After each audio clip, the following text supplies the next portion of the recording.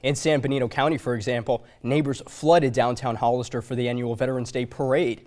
That's where we find Action News reporter Sierra Starks with tonight's top story. Yeah, good evening, Christopher. So, when it comes to just how much this Veterans Day parade has grown in Hollister, 10 years ago, 19 groups were signed up to participate, and this year there were 52.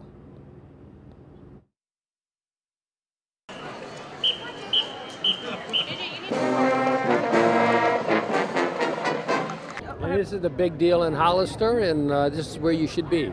A special salute to our country's service members, I spent 26 years in the Army. past and present. You know, we have our freedom and everything because of the vets, and uh, you know they give an awful lot, and the least we can do is is come here and uh, show our appreciation. Each year, organizers say the Veterans Day parade in Hollister has gotten bigger and better. Everybody comes. Today's a special day for us.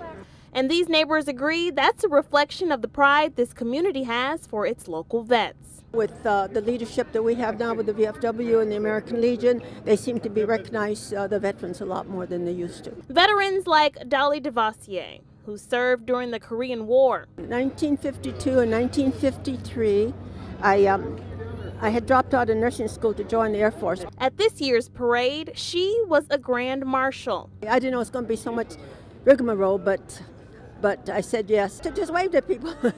But when it comes to supporting her fellow veterans, she says she's always happy to lend a hand. and that's really helping the young, younger generation. And so that's what we're doing. We're going forward and teaching the people that do not know what it's all about that veterans are very important.